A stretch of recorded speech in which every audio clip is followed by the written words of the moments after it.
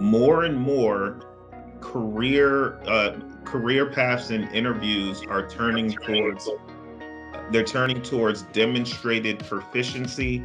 They're turning towards um, uh, testing to even get in the door.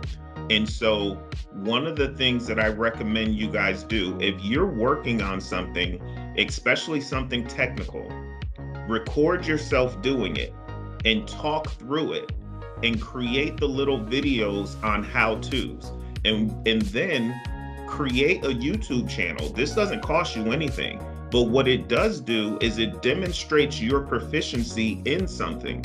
So if you're coding or doing a web page or or building a, a platform or whatever, record yourself going through this stuff, punching in the keys and, and just narrating across what you're doing.